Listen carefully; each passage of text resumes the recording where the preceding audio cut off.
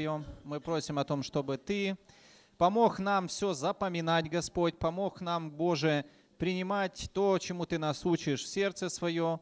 Мы просим о том, чтобы Ты, Господи, делал нас внимательными, чтобы Ты помог нам, Господи, смотреть на все это с точки зрения того, как мы будем когда-то евангелизировать еврейский народ, Господь, служить еврейскому народу. Боже, мы просим о том, чтобы милосердие Твое было над нами, Господь. Спасибо Тебе за помощь, за благословение и поддержку во имя Ишуа Мессии. Амен. Итак, вчера мы с вами коротко просмотрели основные моменты, которые относятся к синагоге да, и э, того, как все устроено. Э, хочу как бы снова напомнить вам, что мы сейчас не разбираем в подробности именно все, как эм, до миллиметра, до дециметра, где что стоит, кто откуда выходит. То есть мы не разбираем литургию и так далее. Мы просто просматриваем основные понятия. Потому что наша цель по окончании этого курса, чтобы у каждого из нас была э, общая картина того, что собой представляет иудаизм как религия, как направление, а, чтобы мы могли утвердиться в определенных простых базовых понятиях. Вы понимаете, что по каждому из этих пунктов можно отдельно проводить отдельные месячные семинары, и там по целому кварталу можно учить. То есть если уже речь идет о том, как устроен, там, например, Сидур, или там как устроена та или иная молитва, откуда взята, как кем написано, кем придумано, это все занимает очень много времени. Для нас пока что это не актуально, мы будем это рассматривать, возможно, позже. Итак, сегодня мы с вами начнем с Эрец Израиль. Эрец Израиль, земля Израиля – мы понимаем, что практически у каждого народа в этом мире есть своя земля. Но отношение к Эрец Израиль особенное. Как у самих евреев, так и у всего мира. И э, даже современное государство Израиля, которое есть сейчас, достаточно неоднозначное мнение насчет того, должно ли оно быть и, э, или не должно быть.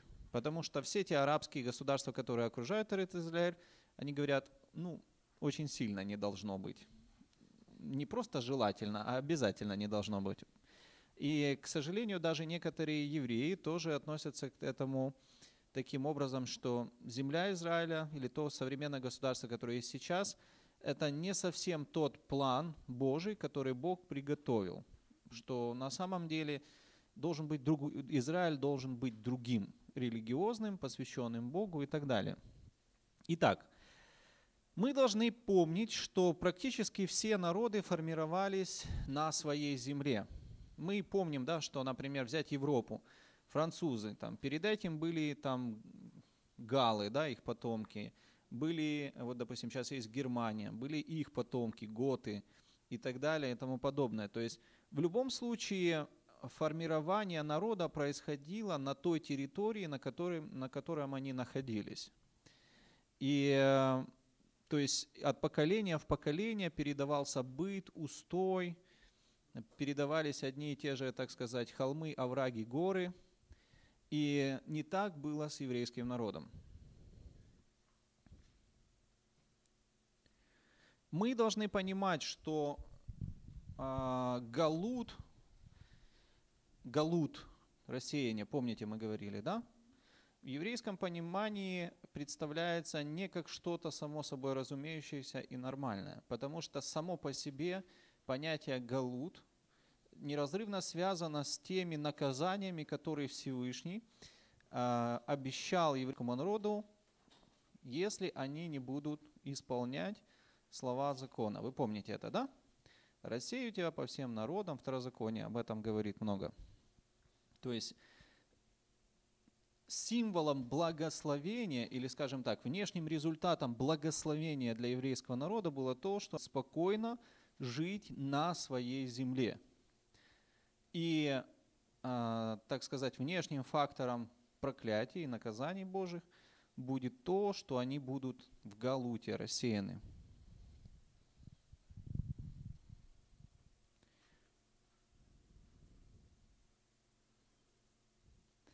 Это, конечно же, дало возможность, толкнуло, так сказать, на самые различные размышления э, различных еврейских ученых. Как устроить еврейскую жизнь, находясь в Галуте?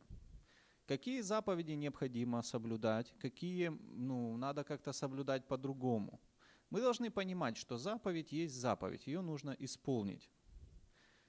И можно так сказать, это твоя сложность, если ты не знаешь, как ее исполнить. Но ты знаешь, что нужно, например, предположим, одевать филин, да? И вот ты должен его одевать, и все. Ты должен сам подумать, как это научиться, чтобы, чтобы его одеть если ты знаешь заповедь. Вы понимаете, да? Точно так же, как мы говорим, там, допустим, э, почитай отца и мать. Ну, как бы понятно вроде бы, но все же, можно же почитать по-разному, да? И тебе нужно самому научиться о том, как это сделать так, чтобы Богу это нравилось. Можно фактически твердо сказать, что еврейский народ стал уникальным народом, потому что это народ, который сумел сохранить себя, несмотря ни на что и вопреки всему. И произошло это благодаря тому, большей части, что еврейский народ а, по-прежнему соблюдал традиции. Традиции. Есть такая поговорка. А, евреи сохранили шаббат, а шаббат сохранил евреев. О чем говорит эта поговорка? О том, что будучи посвященным определенным традициям своего народа, традиции не смешиваться, правилам, да, то есть запрет на смешанные браки, определенный уклад жизни в местечках, общинами, в кигелот, кагалами так называемыми. Это послужило тому, что еврейский народ был сохранен как народ, но также мы знаем еще настоящую причину. Бог сохранил их. Потому что Гитлер был далеко не первым мечтателем, который мечтал всех их уничтожить. Мы понимаем, что это не произойдет никогда. Точно так же, как и Церковь Божью, никто никогда не уничтожит. Хотя были, вы помните, да, буквально в прошлом веке мощные высказывания о том, что покажут последнего верующего по телевизору. Вот там в 80-м году Хрущев обещал. Не знаете, да, этого? Обещал, обещал. Но, может быть. За конфетку можно и выучить Новый Завет, а что нет? Я думаю, что у меня малый, например, бы точно выучил за, за конфеты. А, в любом случае, ни народ Израиля, ни церковь не будет уничтожена, потому что есть четкие Божьи благословения, обещания милости. Милости. Эта милость, она была явно явлена. Мы можем также увидеть интересную такую вот а, интересный момент.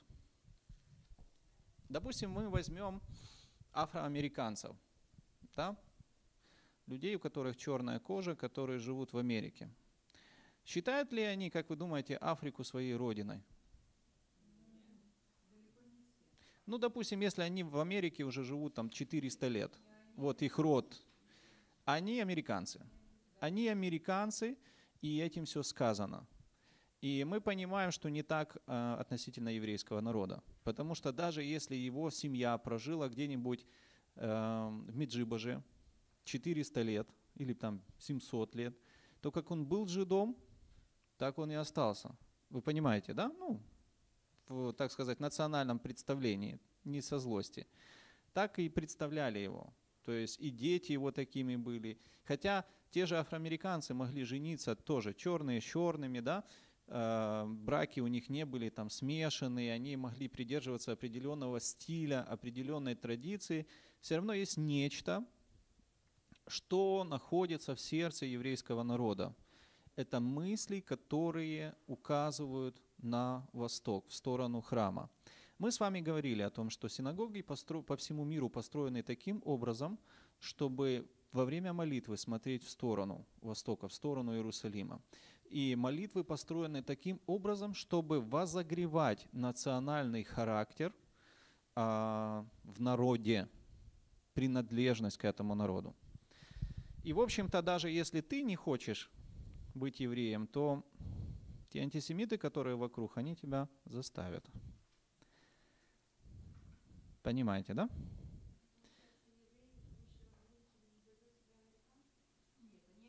Они американцы. Человек, который живет в, в Америке, он американец. И все. Вы понимаете? Ну, вот смотрите, у меня живет один друг в Америке. Я его спрашиваю, говорю, ну как у вас вот с вопросом, а, он еврей, а, верующий в Ишо, ну не мессианский еврей, а просто в церковь ходит. Не сильно не хочет быть евреем, как бы, ну так. Я говорю, вот у вас поднят вопрос вот антисемитизма? Он говорит, абсолютно нет. Потому что я не знаю, как зовут моих соседей. Чего я буду ходить по соседям и громить ему дом? Я даже не представляю, кто это. Вы понимаете? То есть жизнь, она складывается примерно таким образом. Ты сел в машину, 50 километров в одну сторону, ты на работе. Поработал, 50 километров в другую сторону, детей со школы, э, там вечер, туда-сюда, траву покосил, вот и ночь. И снова. Ты не общаешься с людьми. Ну, натурально. То есть он говорит, так и говорит, у нас нет этого вопроса, у нас здесь все есть. И китайцы, и корейцы, и русские, украинцы, и американцы, и, ну, кто такие американцы, тоже еще вопрос такой хороший. Вы понимаете, я общался недавно с одним тоже ортодоксом, он говорит, вот, говорит, украинцы, они хвалятся своим украинским национализмом. Покажите мне чистого украинца натурально, покажите мне чистого украинца. Говорит, я еврей, я могу вам рассказать о своем роде по маме до пятого колена, до, пятого, до пять э, уровней вниз, а по папе семь. И у меня есть документы. Какой украинец может показать, что он украинец? И там у него русские, там у него поляки, там у него какие-то венгры намешаны, там еще татары какие-то, молдаване – и так далее. Кто такой чистый украинец?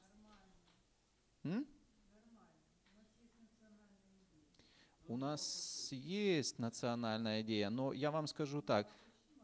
А кто проверял их национальности вглубь? У нас не заведено это, вы понимаете? Почему? Потому что идея нашего народа, она не была построена, я имею в виду украинского народа, да? Она не была построена против, э, вокруг того, чтобы сохранить чистый украинский дух, чистый э, этнический, скажем так, э, состав воздуха. Да? Независимо от политики Советского Союза. Малороссия была, и все было нормально. Немцы здесь жили, венгры жили, татары жили. М? Совершенно верно, правильно. А зачем? А вопрос тогда звучит, а зачем это евреям? Для самосохранения нации. И эти моменты, они имеют свои корни в Писании. Конкретно эти корни находятся в Писании. Когда евреи заходили в Эрец Израиль первый раз после египетского плена, да, вы помните точные установления, которые Господь дал им. Не смешивайся принцип несмешивания, он был во всей культуре. Нельзя смешивать разные нитки, помните, да, эти заповеди? Нельзя смешивать разные семена. Нельзя скрещивать разных животных. Нельзя э, там как бы одевать одежду, да, разную. То есть принцип не смешивания, нельзя смешивать еду определенную, чистое и нечистое было. Оно было вложено ну, можно сказать, в ДНК. Хотя мы знаем, что на протяжении всей истории было, особенно вот э, история 19-20 века, вот в России, не только, в Европе, было э, такое движение, которое обусловилось тем таким призывом ассимиляции. Становились выхристами, да, принимали христианство некоторые осознанно, давали русские имена, переставали обрезывать детей и так далее, и так далее, и так далее. Делали все, чтобы смешаться. Все, чтобы никто никак не догадался. Но когда приходил день X, то есть погром, а, как говорится, не били не по паспорту. Находили старые какие-то корни, находили старые какие-то соседи, метрики, да, потому что все равно эта идея, она была неуспешной, она получила провал. Итак, принцип несмешивания – один из основных моментов. А, если мы посмотрим на Эрец Израиль, например, сто лет назад, то эта земля представляла собой довольно-таки жалкое место. Жалкое. Болото, малярия, пески, невероятнейшая нищета, пустыня, а, бедуины, турки, англичане, войны. То есть ничего хорошего там не было. С точки зрения, например, если сравнивать ту землю и украинский чернозем, то разница была огромная. Как не сложно жили в Украине на, тоже сто лет назад, на фоне революции, войн и всего остального, там было хуже. В любом случае.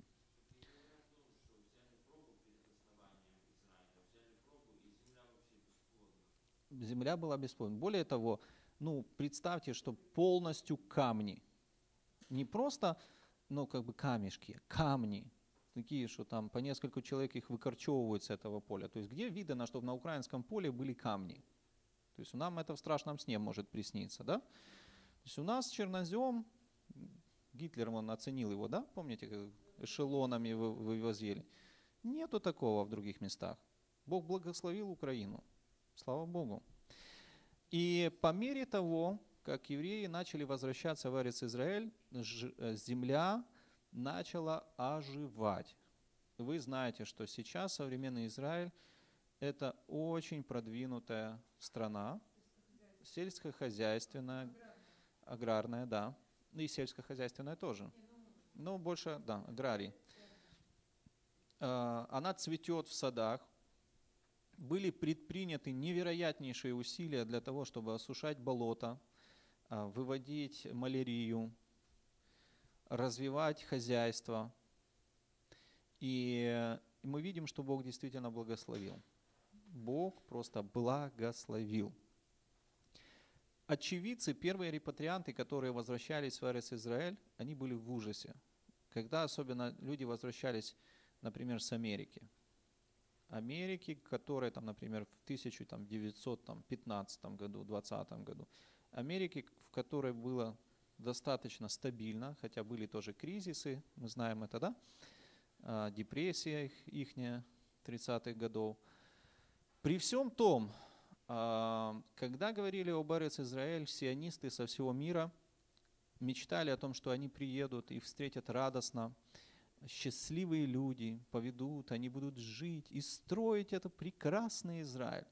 Они приезжали с чемоданами, с патефонами, с картинами, и, и некоторые из них говорят, когда мы вышли на перрон, мы увидели, что нас никто не встречает, мы никому не нужны. Собаки, барханы, верблюды, невероятная жара и ужаснейшая нищета. И вот так начинался Эрес Израиль во всем этом. Тот Израиль, который мы видим сегодня. Итак, итак, Давайте мы посмотрим, как все начиналось. Наш любимый стих, да? Ты помнишь, как все начиналось? Берешит 12.1. Недельная глава Торы, известная как Лех Леха, выходя, выходи. Берешит – это бытие, на всякий случай.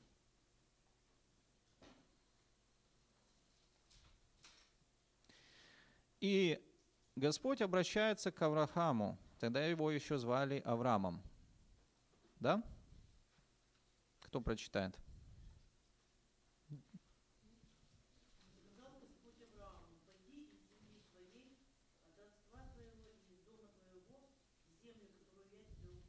Угу. Нет, пока. сказал Бог Аврааму, пойди из земли твоей, от родства твоего и из дома отца твоего в землю, которую я тебе, я укажу тебе. И дальше давайте мы посмотрим еще шестой стих. Я прочитаю. «И пошел Авраам по земле сей до места Сихема, до Дубравы Море. В этой земле тогда жили хананеи». Вот так вот, да? С этих слов начинается история не только Авраама, но история всех евреев. И дальше мы смотрим 13 главу, 17 стих, когда Авраам расстался с Лотом.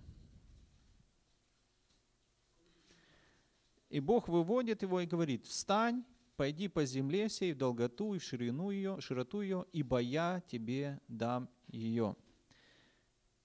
И двинул Авраам шатер и пошел и поселился у Дубравы Мамре, что в Хевроне, и создал там жертвенник Господу. И мы видим, что обещание или подтверждение для Авраама Бог показывает в течение всей его жизни. Мы можем посмотреть о том, что Бог обещает ему потомство. Помните, да, многочисленное, как звезды на небе. 15, 5 бытие.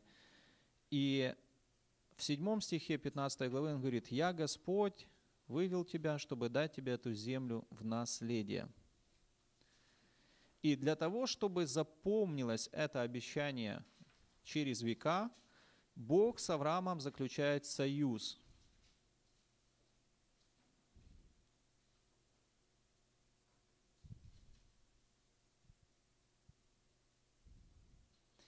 А также Бог говорит о том, что этот завет, он будет распространяться на детей Авраама. 17 глава 8 стих.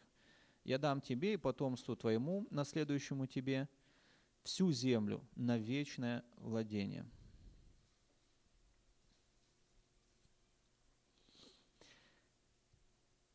Есть такое выражение «земля обетованная», да? Иными словами, земля обещанная. Земля, которую пообещали. Обещал ее Бог еврейскому народу. И это обещание не было ограничено рамками какой-то конкретной эпохи, какого-то конкретного времени, но оно было дано навсегда. Мы видим, что оно было подтверждено многократно. И очень интересно, что не так как бы много самых разных обетований, которые были многократно подтверждены. Да? Например, мы возьмем завет э, Бога с Ноем. Да, он говорил, потоп не выйдет. Хотя сейчас мы все равно видим радугу. Да? Но потом мы не читаем, что сильно часто Бог говорил, помните там радугу, да? Так это вот знамение между мной и человечеством о том, что потопа не будет. Но радугу мы видим. И это не просто физическое какое-то знамение, какой-то катаклизм, так сказать, или метеорологическое знамение, да? Это знак Божьего завета, подтверждение. Посмотрите, думаете, слава Богу. Правда, он пообещал, что все сгорит, но в любом случае не утонет. Тоже, да, тоже неплохо. Итак, это и есть источник, из которого еврейский народ черпал уверенность в том, что когда-то придет день, и земля, которая была обещана, станет снова ихней. А эта земля будет ждать их, даже если пройдет, например, 2000 лет. Да. Это подогревало, эти места Писания подогревали национальный дух, подогревали надежду.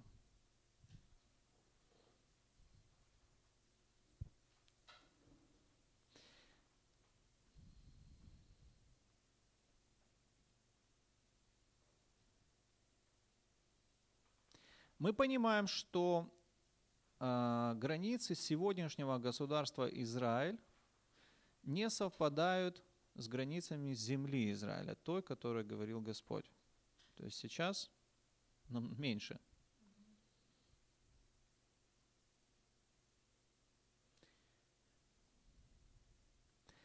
Единственное прямое указание Торы на границе Эрец Израиль находим в отрывке, который мы здесь смотрели уже. От реки, от реки Египетской до великой реки Прат. Что такое река Египетская? Нет однозначного мнения на этот счет. Некоторые считают, что это действительно Нил. Некоторые э, о том, что это Эль-Ариш,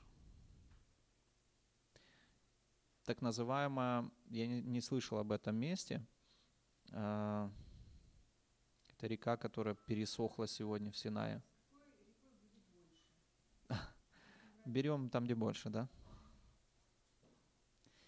Но проблема в том, что вопрос не только в географической идентификации. Вопрос-то в народах, которые там живут. Это одно, а второе о том, что владение землей, оно тесно связано а, с тем союзом, который Бог заключил, и с теми обязательствами, которые предполагает этот союз – Поэтому границы той части Эрет Израиль, который реально владеет народ Израиля сейчас, зависит, согласно традиции, от духовного состояния еврейского народа в данный период. Ну, иными словами, сколько тянете духовно, столько получаете. Есть вот такой вот взгляд на это дело, да?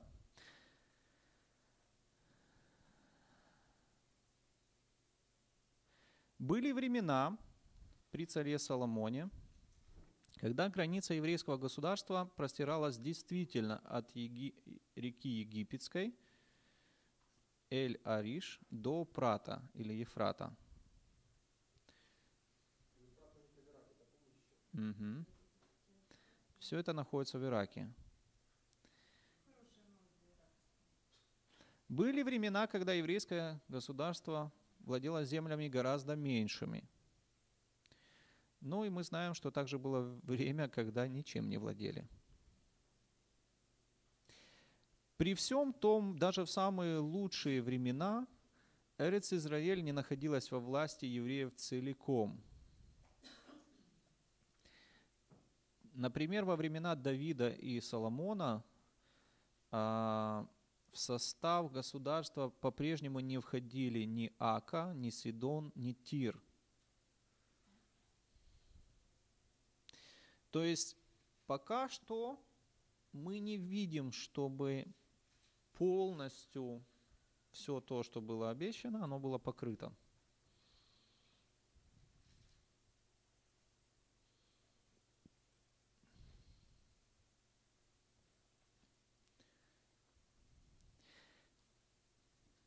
Так же, как выделяет традиция землю Израиля на глобусе как особую землю, иногда называют ее святой землей, да? Кадош, земля, которая отделена.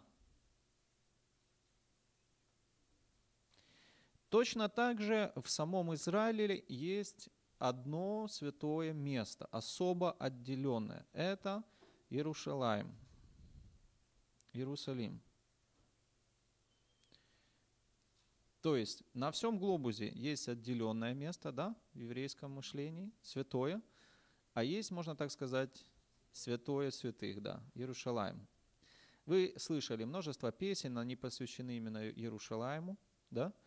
Иерушалаем, Кользар, Тарин, да дан дан дан да дан Это неспроста. Потому что Иерушалаем был выбран Всевышним для того, чтобы в этом городе был построен храм. Вы это знаете, да? И особенным было и место для храма. Согласно традиции, храмовая гора – это та самая гора Мория, на которой Авраам подвергался самому тяжелому испытанию своей жизни – принесение Исаака в жертву.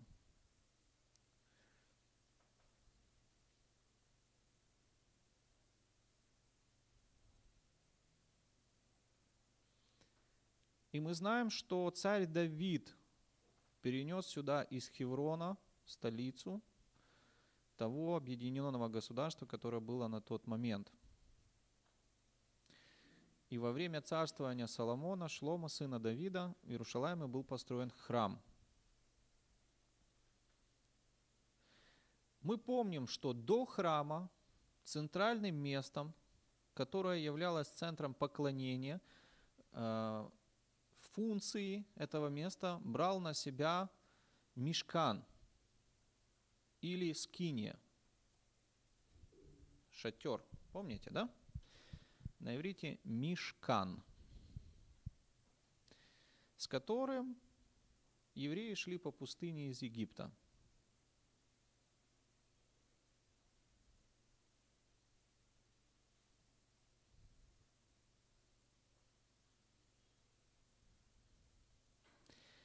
Храм был один, и его было запрещено построить. Можно же было бы построить, например, пять храмов, да? Но храм был один. Его запрещено было заменять каким-либо другим храмом, на каком бы это ни было месте другом.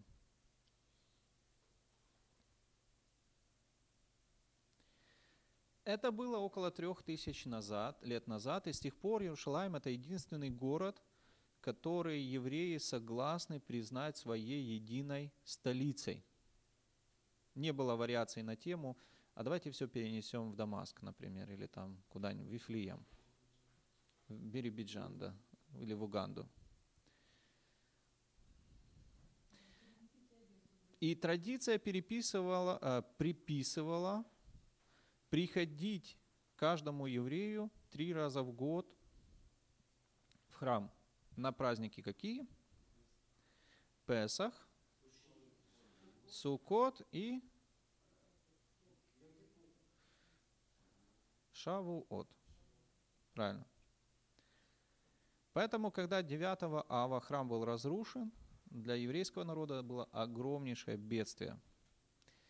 И традиционно этот день отмечается как день поста и траура. Мы будем говорить с вами о памятных датах – Несмотря на это, еврейский народ по-прежнему понимал, что придет какой-то день, который Бог усмотрит, и Иерусалим и храм будут восстановлены. Поэтому во все времена э, евреи надеются увидеть это восстановление. Поэтому во время молитвы они поворачиваются в сторону Иерусалима, если в Иерусалиме в сторону храмовой горы, вспоминают о разрушении храма, более того, даже в часы великой радости, например, на свадьбе, вы помните, да, существует такой, такая традиция, когда жених разбивает стакан перед хупой, перед своим домом. Да? Хупа символизирует дом. И этот разбитый стакан еврейской традиции символизирует память о разрушенном храме. То есть даже в минуты большой радости вспоминается о храме. Когда в мессианское общение мы проводим этот обряд разбивания стакана, мы говорим о том, что из этого стакана никто больше пить не будет, да? Мы немножко изменили традицию.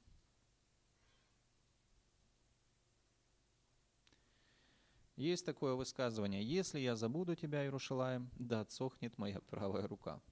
Да, слышали? Ну, я не рискну так говорить.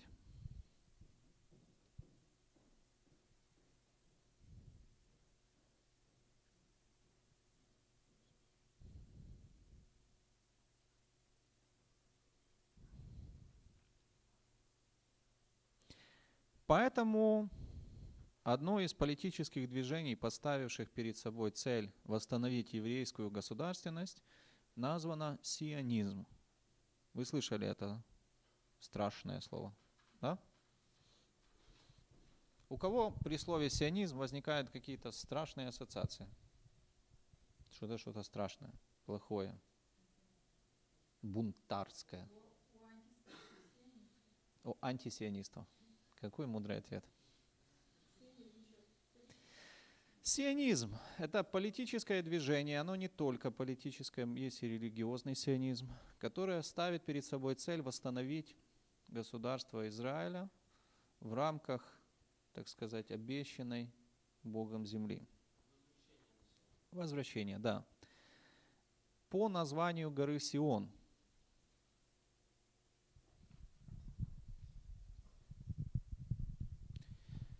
Восстановление Израиля. Фактически, как бы на сегодняшний момент цель сионизма, она в каком-то смысле достигнута. Да? То есть государство, оно возникло.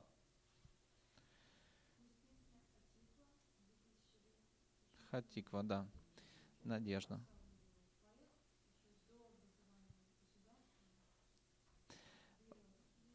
Как в Торе, так и в современном иврите при описании прихода евреев в Эрец Израиль употребляется особый глагол «Аллах». Слышали? Как в Торе, так и в современном иврите при описании прихода евреев в Эрец Израиль употребляется особый глагол «Аллах», буквальное значение которого «подняться», «подыматься». Алия. Слышали такое слово, да?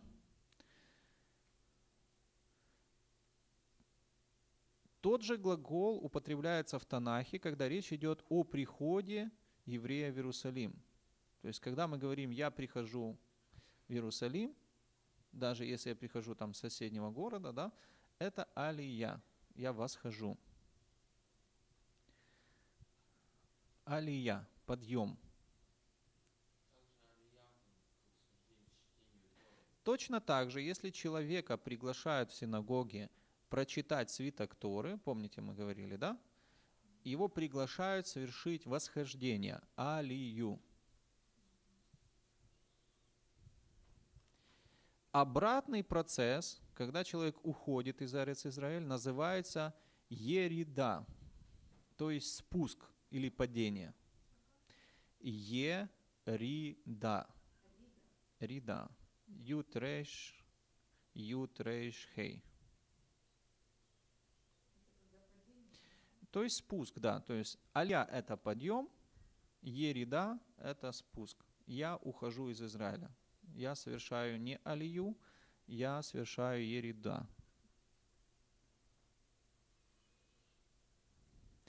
И мы понимаем, что термины эти не связаны с каким-то топографическим нахождением Израиля на горе, или там, например, что храм был вверху, поэтому мы туда поднимаемся, а если мы уходим, то мы опускаемся. опускаемся.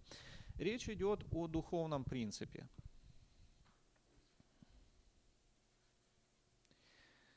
Мы понимаем, что выделенность Эрец Израиль и Иерушалайма приводит к тому, что пребывание еврея в земле Эрец Израиль наделяет, можно так сказать, его большим статусом. Да? То есть ты сопричисляешь себя с, неч... с чем-то, что является выше.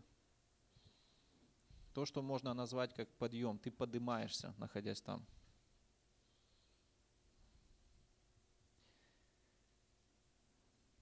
Поэтому в современном иврите термин «оле» означает репатрианта, приехавшего в Израиль. Олимы, да, так называемые, слышали? Оле – это репатриант, приехавший в Израиль. И Йоред – тот, кто покидает страну.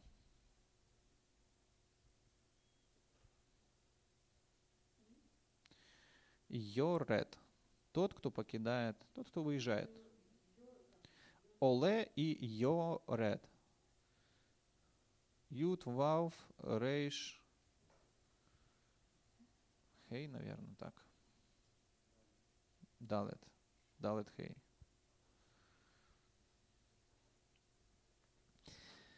Это вкратце то, что относится к Эрец Израиль. Делаем перерыв.